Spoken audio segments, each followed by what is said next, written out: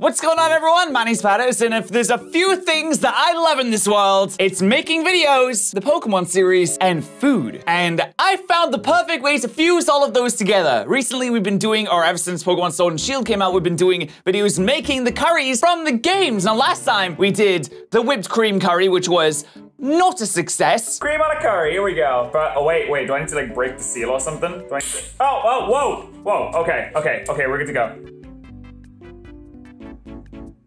That is weird. And I wanted to go even further beyond, so this time we're gonna make some cheesy curry. Some very cheesy curry. Now, there are some cheeses that go with curry, and most that just kind of don't. And we're gonna be trying like a bunch of different kinds. It's gonna be absolutely fantastic. But if you guys would like to see more curry videos, go ahead and hit that like button. If we have enough support on this video, then I'll do more in the future. That's just how it works on YouTube. Also, make sure you subscribe if you haven't already. A thousand likes on this, and we'll do more curry videos. But it's a little bit early on. It's about 10 to 8 in the morning. I wake up usually about like half seven every day, basically. So let's go and get breakfast, I guess? So good morning. I'm currently recording this on my phone camera because who cares? But welcome to my humble abode. It's a wee bit messy because I live here by myself and who cares, man? You, you think I'm gonna clean this up for a video? No, absolutely not. But it is time for breakfast. And I don't know why I started recording this video so early, but I'm gonna show you what I usually have for breakfast every morning. All right, breakfast time in the Pat House. So what we got here? For, oh, crumbs. Uh-oh, we can't have crumbs on there. All right, you know what? You know what? Someone's gonna complain about this. I'll bloody hoover up then, will I? Moments later. All right, the crumbs have been exterminated, and what we have here is a little bit of oatmeal. If you don't know, I love oatmeal. Have oatmeal for breakfast pretty much every day. But what do we have in the oatmeal? How do we spice it up? How do we make it interesting? We actually have ourselves some oats. We have ourselves some chia seeds, some cinnamon protein powder, some almond milk, and uh, after I throw this in the microwave for a bit or a bob, I'm gonna go ahead and toss in some banana and uh, syrup. Yeah, syrup. So let's get it in there, shall we? Go on. Wait, wait, wait. Take Let's take take take the spoon out. All right, now we can cook it. Yes, cook my pretty. You can even see my reflection. Hello. So I have oats for breakfast pretty much every single day. Um, it's just my favorite thing in the world. Do you have a routine for breakfast? Because it's gotta be oats for me. Some people don't eat breakfast at all, and I'm just like, man, it's so good though. It's so freaking good. I'm, I'm, I look forward to this every morning. But what's your, what's your breakfast routine though? What's your breakfast? Let me know in the comments. Do you, do you have banana? Do you have eggs and bacon? I, I, you know what I like. You know what I. Guys, I messed up. Hello! So now that we've ruined our breakfast, it's time to get on to, don't mind Matt, that, that was the kettle. It's time to get on to actually making our curry. So welcome to Pat's Kitchen. Now the first thing you're gonna need is a teaspoon of butter, sorry, tablespoon of butter. Here's one I made earlier. And we're gonna go ahead and start, I wish there was something tall enough in my kitchen that I could put my camera on and have it actually be high, like head height because I'm this tall that if I'm talking to you like this, it doesn't look very good, so I have to squat at all times. And I mean, I love squatting, but it's a little bit ludicrous. Now, we're gonna make a, what we're gonna make is a chicken and cheese curry. It's gonna be absolutely amazing. I'm gonna do it in a slow cooker, so it's gonna be cooking all day. It's gonna be getting all that juices, all that fragrances. It's gonna be fantastic. So we have our chicken at the ready with some garlic on the side. And uh, let's, let's get this underway, shall we? First thing you need to do Activate the flames. Now, the flames are very dangerous, so don't touch the flames, they're hot. And add the butter directly to the pan. Bang! Now it's on the pan, it's gonna get nice and oiled up there. Mmm, can't you smell that butter? And we're gonna wait for that to melt a little bit. We're gonna throw on the chicken. This is taking a long time to melt. Am I using too much butter? Am I gonna clog my arteries? I guess we'll find out as now we have to add the chicken. So you just, just, just throw it on there. There you go. Get all of, no, I added the garlic too early. Oh, jeez. Okay, no, it should, it should be fine. The garlic, that, that, that should be absolutely fine. Don't worry about it. To like get the, the chicken juice off my hands right now. Can I like pick out the garlic? I don't want the garlic in there yet. Garlic, come home. I got, I got some. It's not supposed to be added yet. All right, I'm using chicken thigh because the chicken thigh is the best part of the chicken. All of that juicy dark meat is in there. And if there's one thing I do love, it's juicy dark meat. All right, now that we've been cooking that away for about 180 seconds, we can add the shallots. Now, it's the apocalypse, so I don't have any shallots, but I do have some frozen red onion, which is basically the same thing. So we're just gonna go ahead and throw that in there. Oh yeah, let's, get it, yeah, let's get it in there. I don't know, I don't know how much we're supposed to put in, like that, that's probably good, though, honestly. And we also add the garlic. It's time for the garlic to go in, as well as the ginger, uh, which I, wait, the ginger? So I have this recipe here, and it keeps telling me to gently cook it. Gently cook it, and then gently cook. Like, what kind of madman does this instructions think I am? Cook, damn you! Cook! Now we're at the part where we can add the spice blend. Wow! Look at the spice blend! I could just eat this. I won't though. What do we have in the spice blend? We have ourselves some coriander, some garam masala. So what did I put in this? Chili powder, um, turmeric, I think. Cumin. I put cumin in there, uh, and some other stuff too. There's there's some other stuff. Anyway, it's a spice blend. We're gonna we're gonna go ahead and throw that on. Are you ready for flavor? Cause here it comes! Bang! The and the flavor is there. Brilliant. All right, we have added in some chopped tomatoes and some stock, and I'm gonna do the fabled taste test because every good chef needs to taste uh, their food before they serve, right? So just a little blow, little, give a little blowy blow. Mmm. Oh yeah, that's got a good spice to it. That's actually good.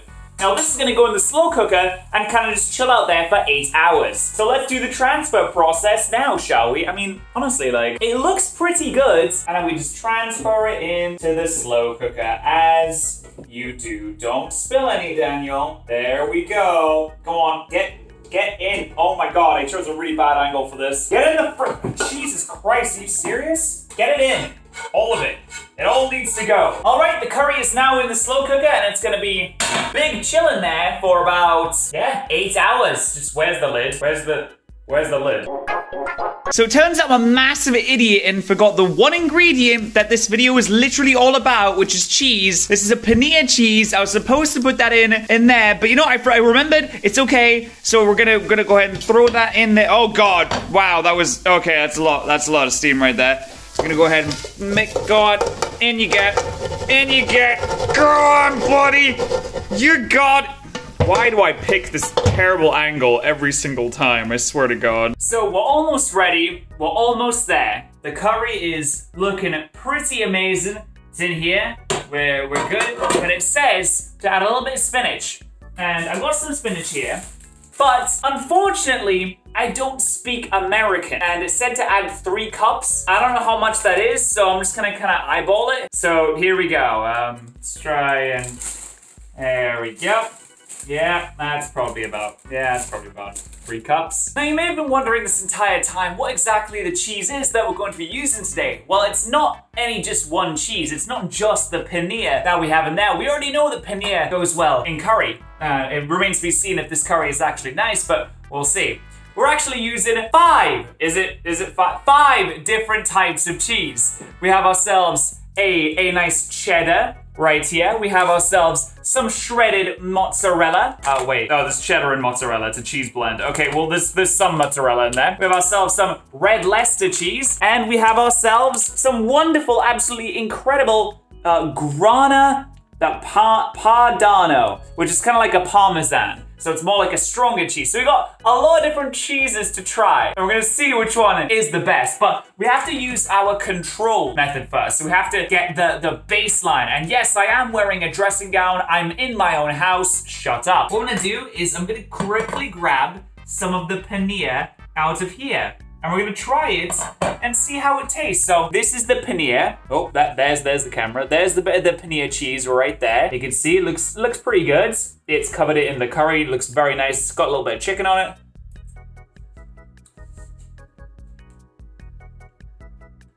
Mmm.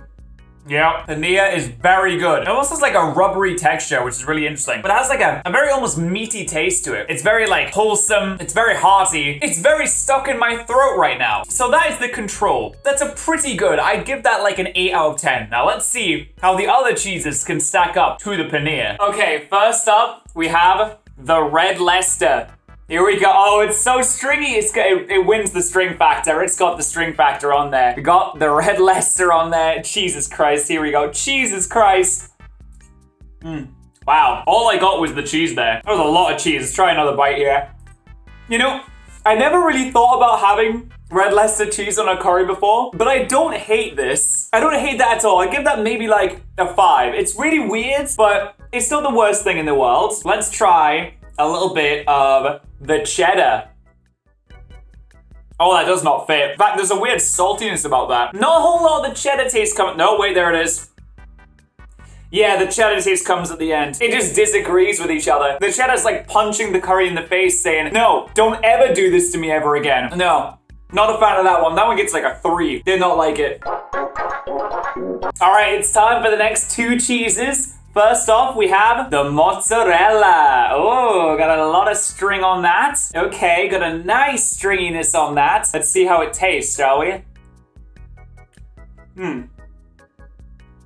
That's weird. You know, mozzarella doesn't really have much of a taste to it. It makes it like weirdly chewy, which is not the right kind of texture you want to go for with a curry. Honestly, it's very, very mild taste. It makes it super like stringy, as you saw before. Like it's got a weird stringiness to it right there.